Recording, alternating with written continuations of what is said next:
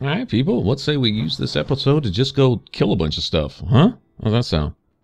Thought we'd go clean up the streets of Lowtown and the docks, get rid of the last of these gangs, turn them in, get our final reward, and then we'll be pretty much done with that for the game. As far as the uh, random ambushes around every corner, we try to walk the streets at night. Kind of a recurring theme through all the acts, and this is no different. Also, this is where I gave Merrill's tactics good solid test run. Make sure she's doing what she's supposed to be doing. And uh, I think I, I, may have the clip that I stole for the build video. I think it may have come from uh, one of these segments here. Where we stop off in the in the hangman and uh, take a good solid look at him. I was so happy when we did this. You, you just can't know how many hours I tormented over her stupid tactics, just not getting them right. It was became a matter of pride with me. Like, you know, I know a little bit about tactics here in this game, and uh, I couldn't do it. And uh, tell you what, Wynne gave me the same runaround in Origins, and I, I still never figured out hers.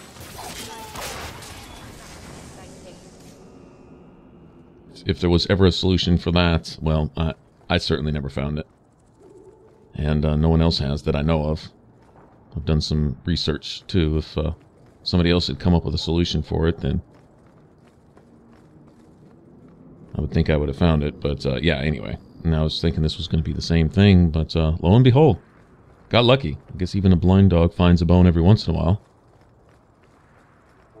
And mm, so there you go. I'm also going to look around here, see if, uh, yeah, we got random loot and stuff. Crafting materials be the most important thing, of course.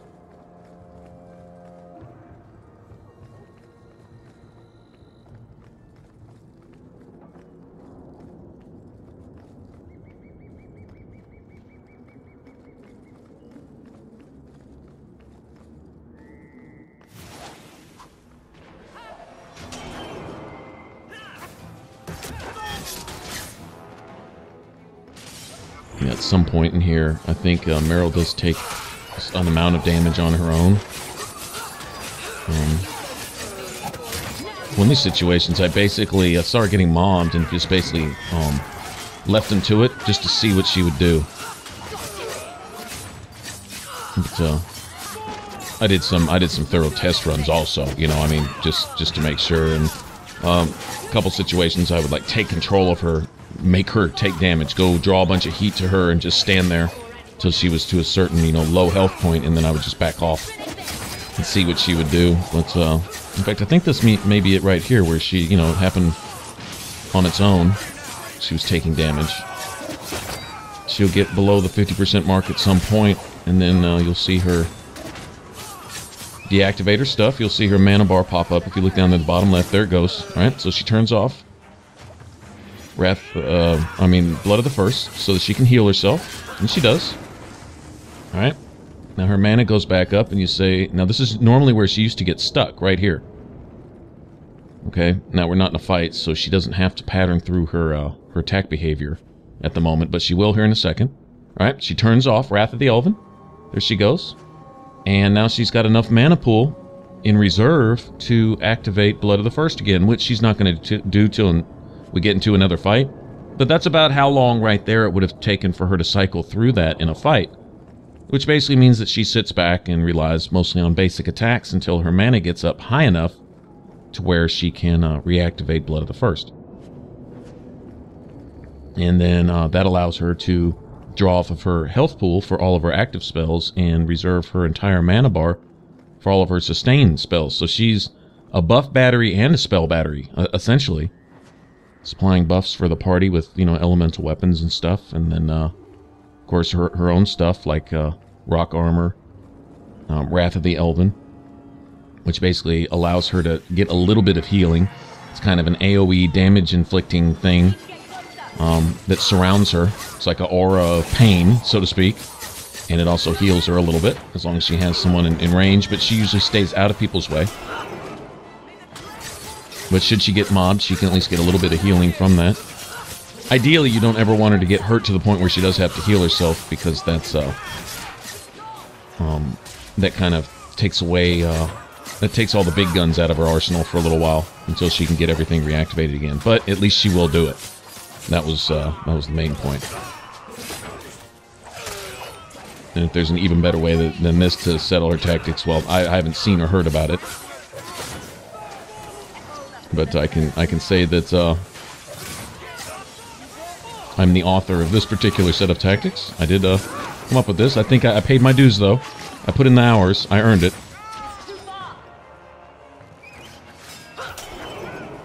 You know, there's an assassin. There he is. I was about to say, I, I saw him flipping around. I can assassinate too, asshole.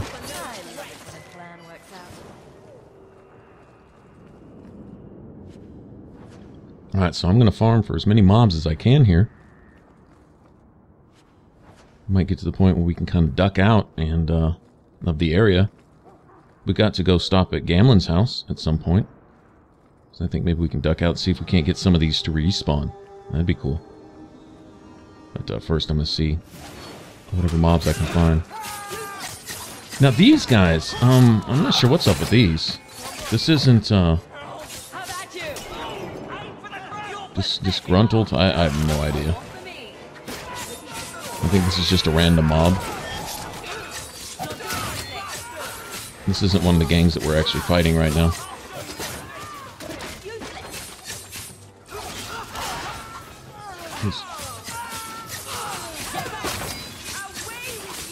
Yeah, I don't know what's the story with those guys. Free points, though. We'll take it.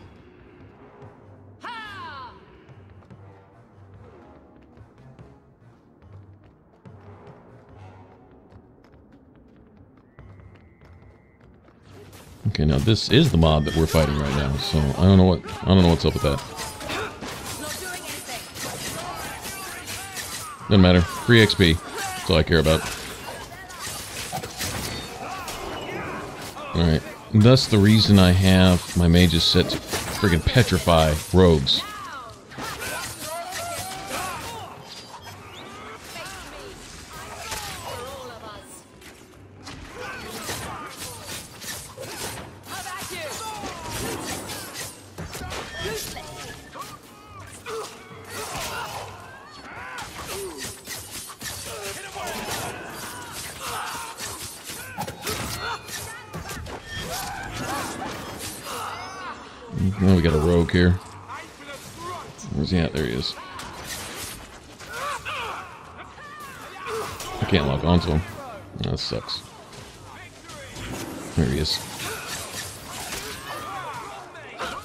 Assassinate too, dude. Doesn't feel too good, does it?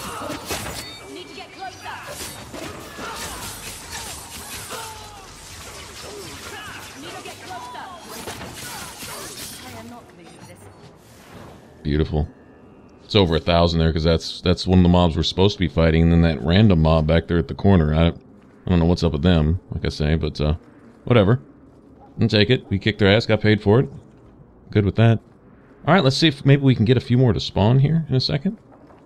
Do some last look arounds for loot.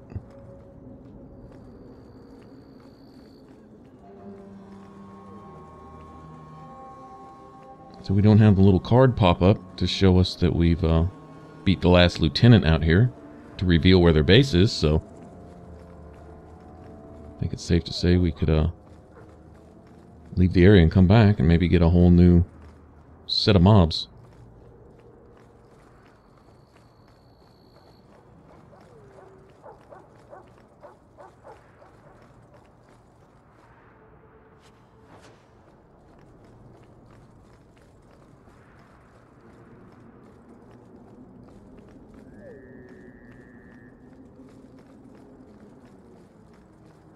Much better when the streets are quiet at night. Tell you what, people aren't aren't out much any, anymore, are they?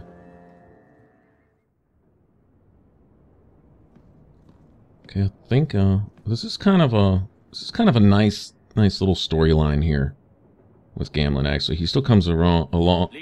He still comes across as kind of a coarse asshole, but uh, honestly, I see a side of him here that if I want to be fair, if I want to look at myself first and look at him second, I'd have to say that uh, there's some some things that are understandable and that people can fall into coarse behavior um, just as a result of just bad decisions and bad luck in life and uh, wind up in a bad place. I'll, I'll show you what I'm talking about. That note mentioned the gem of Karoshek. What's that? It's nothing. Never mind. Uh, This gem sounds pretty impressive. It has a name and everything. Ah, don't be stupid. I lost everything chasing that gem. Our fortune, our home, even Mara. Who's Mara? She's... None of your concern. That's who she is. Why don't you head back to your fancy house in Hightown and stay out of my damn business?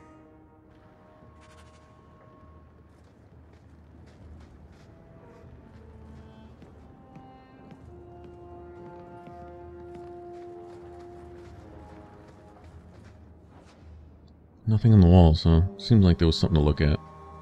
So you've done well for yourself. I had my doubts the first time I saw you, but I guess there was something to that Hawke fellow Leandra ran off with after all. He certainly produced an amazing daughter. Your mother would be proud. I just wish Mother had lived to see me become champion. I know Leandra, and she'd be absolutely glowing from all the praise that's been heaped on you. I don't say this often, but with Bethany locked in the gallows, you're the only real family I have left. For a long time, I thought the Amell line in Kirkwall would end at me. I'm glad you've pulled it out of the grave. Now, I'm seeing a side to Gamlen here, and like I say, if I want to be fair, okay, before I start throwing rocks, I gotta make sure I'm not standing on a pile of rocks myself, or I, else I might slip and fall, right? I mean, we all make mistakes. It looks like he was chasing after a fortune, pulled the old Indiana Jones, gonna go raid the uh, Lost Temple of Doom type thing, and it didn't work out, and he lost out, and it, and it looks to me like he lost everything, and well, some men will drown their sorrows. Some men will fall into, you know, gambling and just whatever as they feel they're an absolute failure and they never pick themselves back up from that. And uh, him being alone here in the city with a fortune just to squander, it looks like he did so. And finally said, well, you know, in for a dime, in for a dollar. I've lost everything up to this point. Might as well just uh, accept my fate and just, you know, be the loser that I've become. And oh, wow, I just got one shot by this stupid rope. Okay, like I say, that shit wasn't free. Little shit. Okay, this is probably their lieutenant. Yeah, no, not anymore. But, uh, nice that Anders picked me right back up. Doing his job like he's supposed to. What's up? Anyway, you know, so, I mean, we can make mistakes. We can make bad decisions. And it looks like he has paid for them. And that's kind of the point is once someone's paid for their mistakes, right? Um, I don't need to heap any more uh, pun- It's not for me to decide that they haven't paid the price enough. And while I sit over here in my cushy little lifestyle, to look down my nose at him and judge him from afar and say, well, at least I'm not like that guy over there. That just makes me an asshole. You know, um, he's not asking anything from us anymore. You know, you come by and you can see dialogue. Hey, you want to pass a few coins so you can go get a, a drink and a hooker, you know, type of thing. And he's, you know, I, don't want to say he's content with his lot, but I think he's he's uh, basically settled, you know, come to terms with the fact that this is his life and this is what he did with it. And, you know, he's kind of responsible for that. And words don't come easy for him, but he gave us kind words anyway. And I really have to respect somebody where words don't come to you real easy. You may not be real, real fluent, you know, um, may not be able to heap, you know, all the fancy, classy, um, compliments and sentimentalities on somebody. So yeah, you know, he's he's not a poet by heart by any means, but he tried. And that says a lot. I mean, that really kind of does. He's like, I know I don't say it much because it's, it's awkward for him. He's not comfortable with that. He's used to dealing with the baser elements of the world and his lifestyle. You know, the hookers and the thugs and the, you know, uh, people like that. I mean, we see the kind of people he hangs around with when we first um, come into the city. But you know what? He came and met us in the gates. He didn't have to. He was hiding a pretty nasty secret. Is that essentially the fortune that was left to his sister? He basically took it and squandered it, and uh, you know, so yeah, and, and there's there's a lot to be said for that. That's, that's messed up, right? But he'll tell you, I, I can't undo it. If he could, would he? Yeah, probably now, right? But he'd probably undo a lot of things. But apparently, in chasing this fortune, he's lost his wife, um, and maybe even more than that, right? Which you may find out later on in his little personal quest that will all extend from that stupid wallet mallet.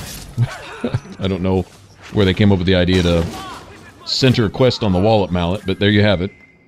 All right, um, we'll follow that out, and we'll find out he's lost a lot. And uh, you know, like I say, I think he's just kind of come to terms with his life as it is, and just settled on, you know, that's the way it's going to be, type of thing. And uh, maybe, maybe him having paid his price, paid his dues, maybe, um, maybe he has some some good fortune. Maybe one stroke of good luck finally come his way, and maybe he could turn some things around before it's, you know, just completely too late. You know, he's at the end of his years anyway. Um, why not? You know, why not? What, what, what does he owe us? Nothing. Uh, things have turned out just fine for us. Uh, what do we have left anyway? You know, he grieved from the heart for for mother. That says a lot. You see someone's reaction to something. You know, he could have just not given a shit less, but but he did. He cared a lot. It killed him. And he had the right idea. Friggin' mage and magic just destroying everything, and, and look what it's done. It's even taken mother now, you know, his sister. And uh, he's legitimately torn up over that. And so, can, can can he get something back? Can he can he salvage something of the life that he squandered? And yeah, yeah, he really needs to actually. And if I can be any part of that, I can I can look past. You know, things are going just fine for me, you know.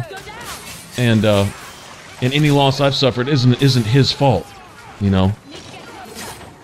So so yeah, so yeah, yeah. Learn to forgive, learn to forgive and, and forget that type of stuff, and realize that someone else's price that they pay for their stuff isn't for me to sit here and and uh, look down my nose at just because I'm not suffering it myself. If the tables were turned, had I made those mistakes, I'd want a little mercy in my last years of life. I'd want, you know, at least some good thing maybe to come my way, even if I don't deserve it, quote unquote. I mean, shit. you know, Gamlen hasn't murdered and killed people. He's just been, just, you know, a slouch. And he's paid that price. Like I say, he's gotten what he's earned, and that's enough. That's enough. So yeah, I would like to see some good thing come his way, and him at least trying to do right, trying to say the right thing, trying to be nice. That's enough. As long as you're trying. You know, most people just don't do that. They'd rather spend their effort, you know, judging and condemning and shitting on the next guy. Screw that. So anyway, so I'm seeing I'm seeing some good qualities there, you know. Like I say, if you can overlook his character, which is, isn't for me to judge anyway, because I'm not perfect. If you overlook that, then uh, he's not so bad. He's not so bad. Freaking another assassin. Shit. These little assassins are just all over me. Alright.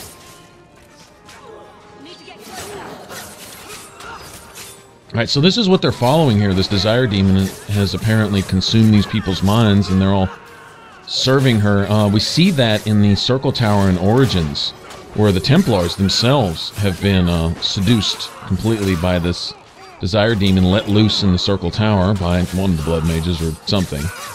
Whatever, but uh, apparently that's what's going on here, something along those lines. We got an assassin heading that way? Yeah, we do. See? They keep coming out of the woodwork like cockroaches. And we've lost Ender? No, we lost Aveline. How the hell that happen? She must have got backstabbed a couple times in a row I wasn't paying attention. Well, that's what I get for talking. Right, well, we got this demon by herself now.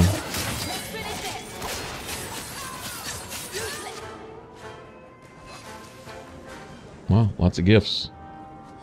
Good deal. Kind of want.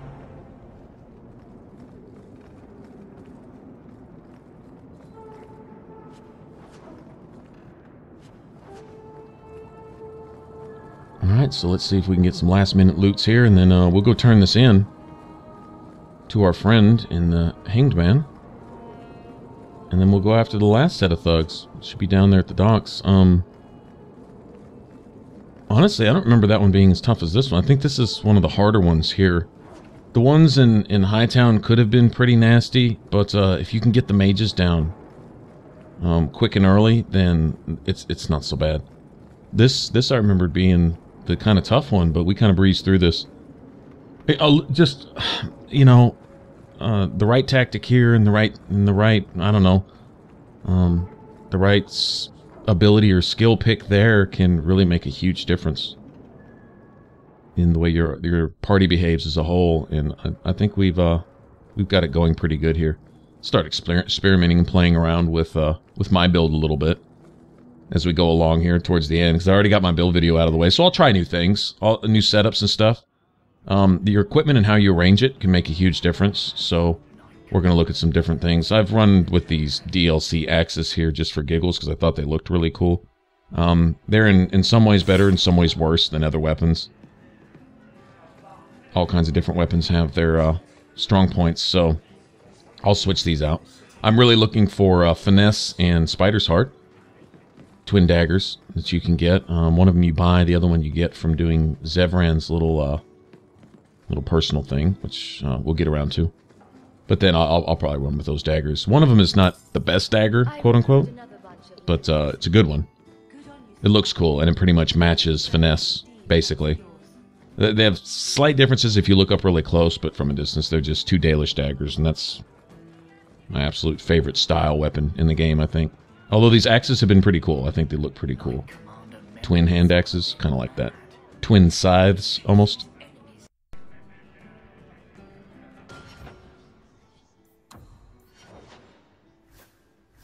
Anyway, this is uh this is the clip that I stole for the build video.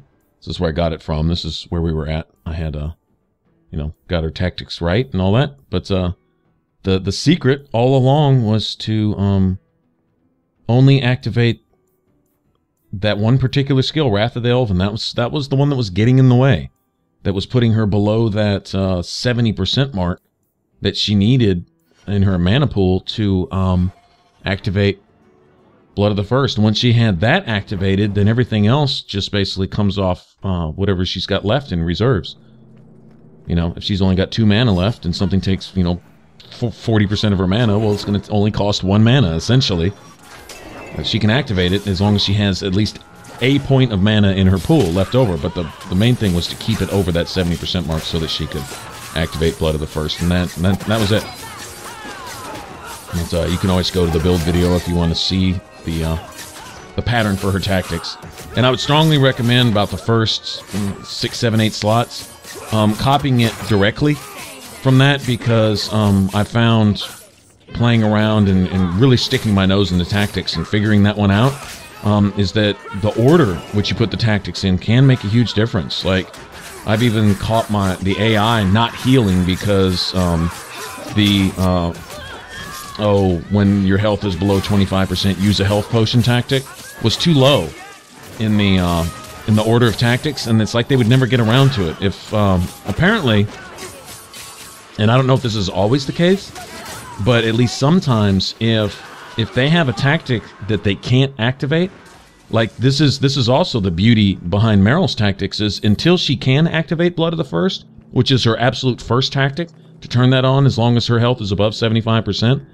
That's the specific reason I, I said it that way, is if she does heal later on and turns it off, that in healing, she'll get her health back above the 75% mark. That's when she needs to, to turn it on. Well, if she goes into a fight and she's at full health, she's going to turn it on anyway.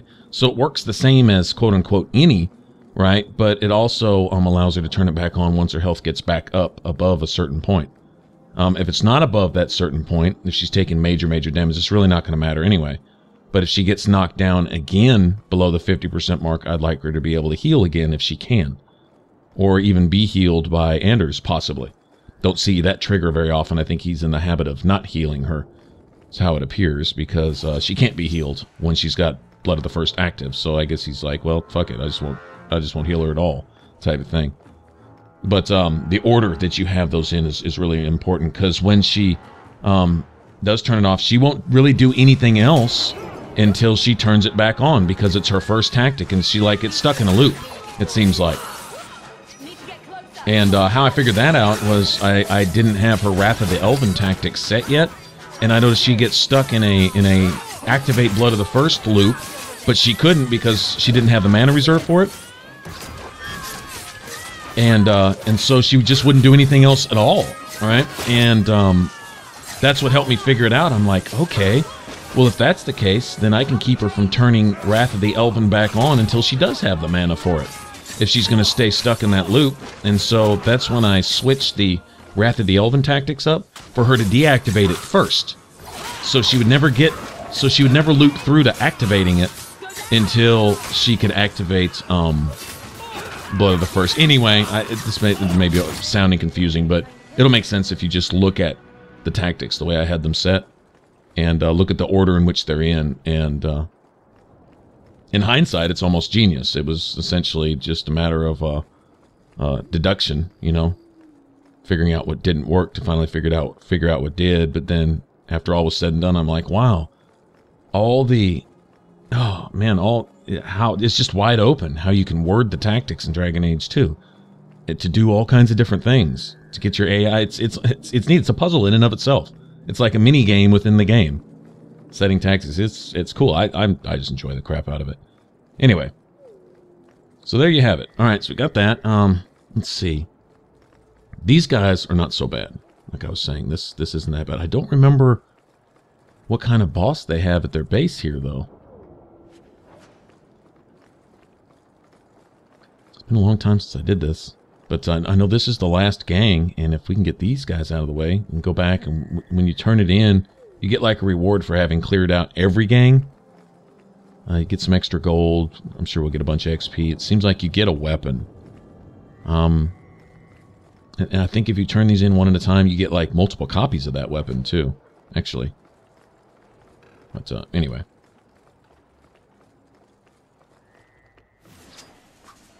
Oh, here we go. Get all these mobs to spawn. Wow. You see Merrill just outright slaughtered that mob by herself. Let's see, that's what I'm talking about. She's such a beast. Really, really is.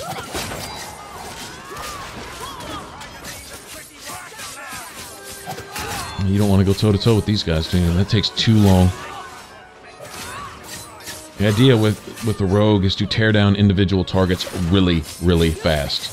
So you can move to one to the next. I can't do AoE stuff, but I can take out several targets in quick succession, almost as fast as, say, a warrior can, you know, hacking away at all of them at the same time with, with a sword, you know.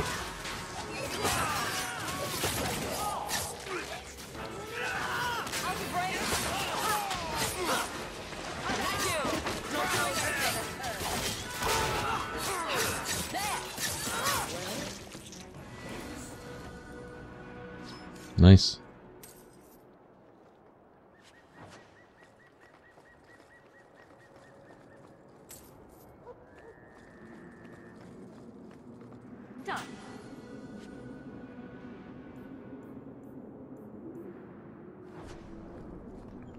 Finding these Qunari swords as we go around. I found uh, the merchants sell them, and they're pretty expensive. And essentially, what you're paying for is the XP, because you get some ridiculous amount of XP for each one. It's I don't know, it's 800, 1200 a piece for each sword or something. And there's probably a bonus when you've turned in all of them, type of thing. Um. Anyway, uh, so if it's a few gold to pay for, you know, a thousand or so XP or even more, then yeah, I'm that's that's actually a, a decent price especially considering we have money. Playing rogue isn't near as expensive as uh, playing a warrior. Warrior has key items, uh, mostly having to do with um, immunity to stun, immunity to knockdown, immunity to knockback, immunity to critical hits, and there's equipment that has all those um, here and there. Yeah, this guy needs to go. This guy needs to go right now. Oh, little bastard. Yeah, if they get to heal, if you can't kill them fast enough to get let them to keep them from healing, then they're gonna get a free shot on somebody. He's almost a boss, isn't he? Wow.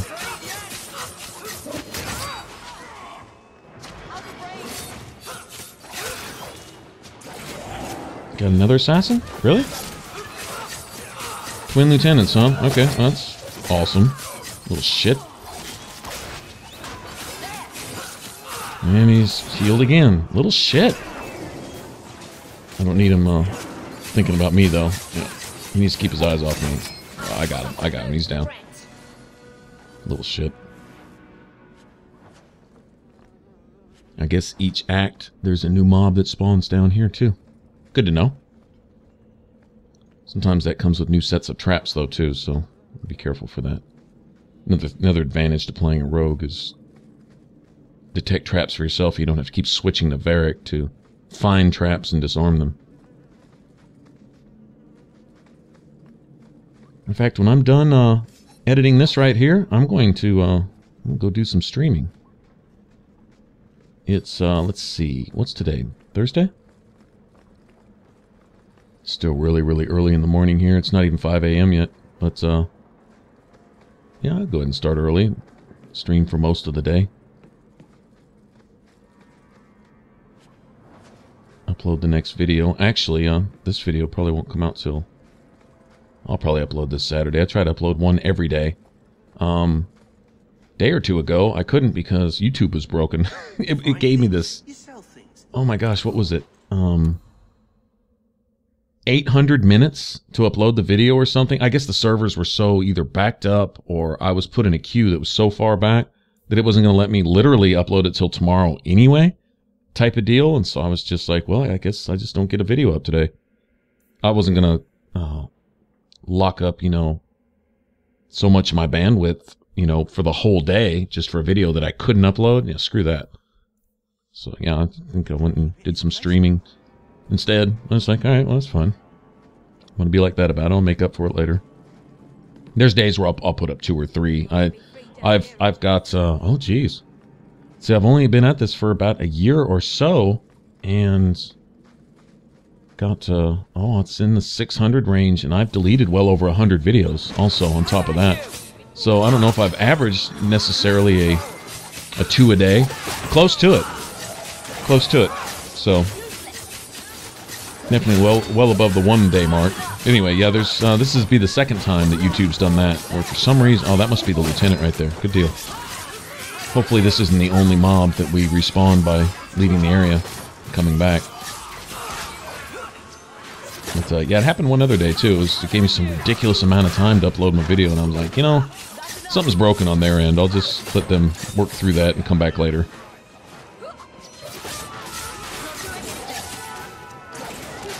Considering some of these videos get 20 views over the course of a week, I think one day here or one day there doesn't probably make that big of a difference. As long as I know I'm staying true to my work schedule. If uh, YouTube doesn't want to comply, well, that's whatever. Guess I'll just have to get over it.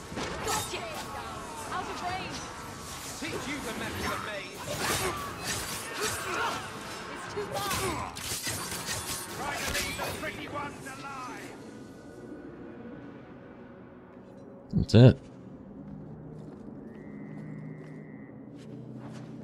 Oh, slave hunters, huh? Alright. I think uh, there's something to do with Fenris in this act that leans towards slavers and all that stuff. I think we'll kind of let him find some closure in his little personal deal. So uh, I guess it just it's fitting that we find uh, Tevinter mercenaries here hunting down slaves. Um, they need to get out of Kirkwall though.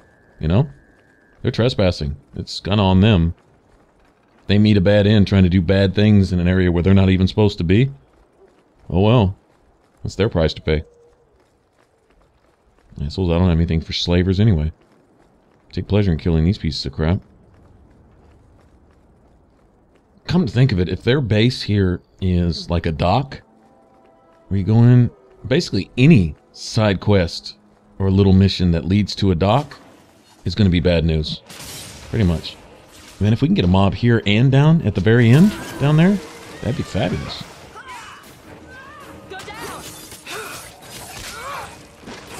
Let's get some of these archers out of the way.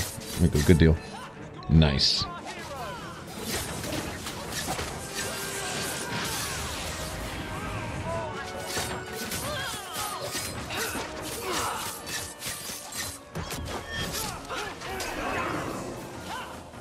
Get the attention off me. Let me get this archer out of here. Yeah. Bye-bye, archer. Holler at you.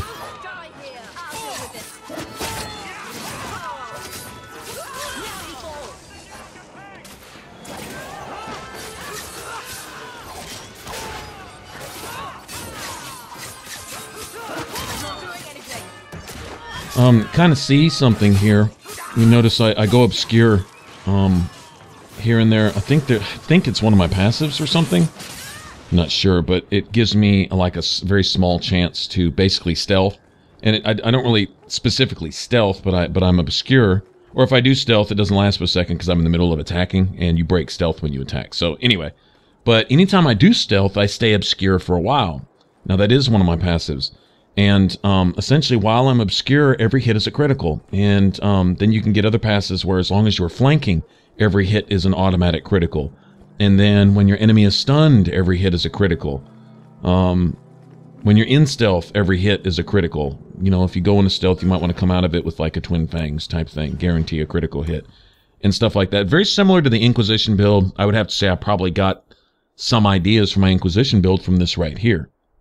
Um, in Inquisition, you can even take it a step further, where you you can do you you can hit so hard coming out of stealth, and you can um, go into stealth is backstab instead of stealthing and backstabbing. You ex- you basically go into the backstab, and that results in stealth, and that adds a whole different dynamic into that build. But uh, this is very similar, and so you'll notice it's mostly basic attacks. Now, assassinate is is a beast in and of itself. I, I don't deny that. But yeah, see, like right here, critical chance 100% with stealth. Basically, you want all your attacks. Um, that's what the shadow tree is really about, is getting a lot of criticals. And then the assassin tree is maximizing your criticals, you know, getting more critical damage. And, and the shadow tree also has a passive for that also. So, um, with the assassin tree, it's, it's basically on your cunning. Notice I've dumped just about every spare point I've had into cunning. Um, a few into dexterity when I needed them for equipment.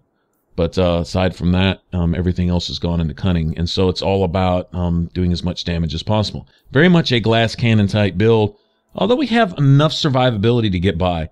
But the basic idea is if you have enough survivability to take a hit, right? You you could probably get into stealth and get out of there and let Anders heal you, and then go back to business. That's that's the gist of it. Does it always work? Well, no. You know, nothing's perfect, but uh, it's uh it's pretty beast. I think my overall numbers. Um, I haven't put up the highest criticals you've ever seen in Dragon Age 2, but I'm putting up steady criticals all the time. My um overall numbers are just are just kind of through the roof most of the time. You know, damage over time type of deal. Um, you stack up enough criticals on basic attacks, those numbers really add up. You notice we're tearing down targets really quick, and that's good. You know, that's that's kind of like the whole idea. If everybody else is doing their job, set up a few cross-class combos, and they they trigger a lot of that amongst themselves. I've I've like gone into mobs and seen mobs that are almost dead or just dead outright by the time I get there, type of thing, because uh, you know somebody's I don't know Aveline staggered them, and you know one of my mages hit him with chain lightning, or you know something like that, or I inadvertently disorient somebody with a backstab or some kind of attack, and they immediately trigger that with like what is it, Stone Fist? I think. In fact, uh, once, and this happens very, very, very seldom, if ever, right? But uh, if you're in direct path of that enemy when you disorient them and your mage busts them with stone fist, it might hit you instead. it's pretty funny, actually. But uh, yeah, it's it's not like a big AOE effect. So yeah, stone fist actually, uh, I think they it takes on an AOE type quality in Inquisition. But uh, anyway, all right. So we're just going to uh, work on Aveline's tankiness here a little bit and get everyone, uh, you know, just dress up now. It's it's basically basically the builds are done. You know, that's why I did the build video when I did. I actually did it a little bit later than what I'd planned, but uh, it was basically let's just finish up Act Act Two, get our stuff squared away, and then we'll just look at where we're at. Um, I'll also do a warrior build. I think my warrior is, uh, um, it's it's just as fun to play as this one, honestly and and and for for the most part just as effective when everything's going right. Like I said, the only slight downside is that with the warrior, um, it's either you play off tank or you have a tank and you and you miss a mage, and it takes Merrill out of the equation, and you really don't want to do that because Merrill's an absolute beast. Okay, so we got a. Uh, Okay, we've got a blood mage controlling all these people's minds. No, that's that's a slaver mage, isn't it? All right, that's a Tevinter Magister over there. Take pleasure in killing this one.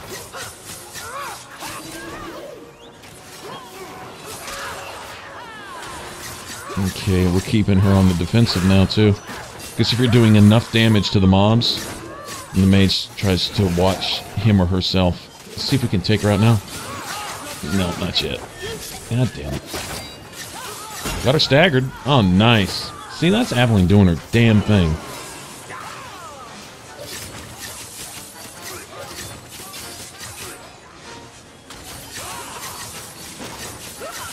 Yeah, see, they're resistant to whatever I'm using right now. I really need to make more effort to uh, change my mage's staves. I forget. We'll go into battles, and they're not doing much. And sometimes I don't really notice because my, my rogue is kind of handling up. But uh, we could be killing things even faster. Got to consider if Merrill has you buffed with the right elemental weapon, it can make a huge difference. Especially when fighting demons. Give her a lightning staff. Oh my gosh, I don't think any demons are immune to lightning. I don't think there's a single one. Alright, so we've still got one or two random enemies in here somewhere. It'll give us, uh... There it is. Okay, there they are. But it'll give us a little, uh... A little note that we finished the quest. Once we got everybody. Which we still don't... Was that a Qunari sword? Interesting. Okay. Apparently, if you want to get all those Qunari swords, you got to be thorough. You got to do everything. But it's uh, well worth it. I mean, XP is just through the roof.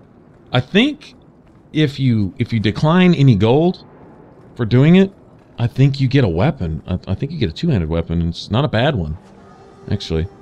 Although the best two-handed weapon I think in the game is um, found in Fenris's little side quest. And I think that weapon right there is an identical copy of the one we're going to get from turning in this last this last mob. If we can actually finish off this last mob. They're probably hiding up here around the corner. Yeah, they are. Yeah. We killed everything so fast they didn't even spawn, essentially.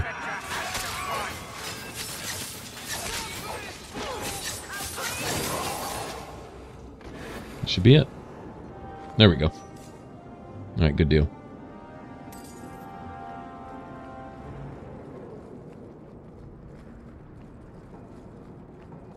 Alright, so we can go turn this in, get paid.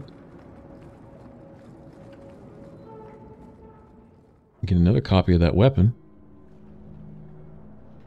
Or two, even. I don't remember what the final XP bonus is, and the final money. I think I think we get like five gold for the last mob or something like that. It's good that we've turned in everyone individually though, because you you get a lot more gold from that. I know if you turn in like all three mobs at once, like say before the end of each act type thing, um, you you you lose money. Ooh, Isabela wants.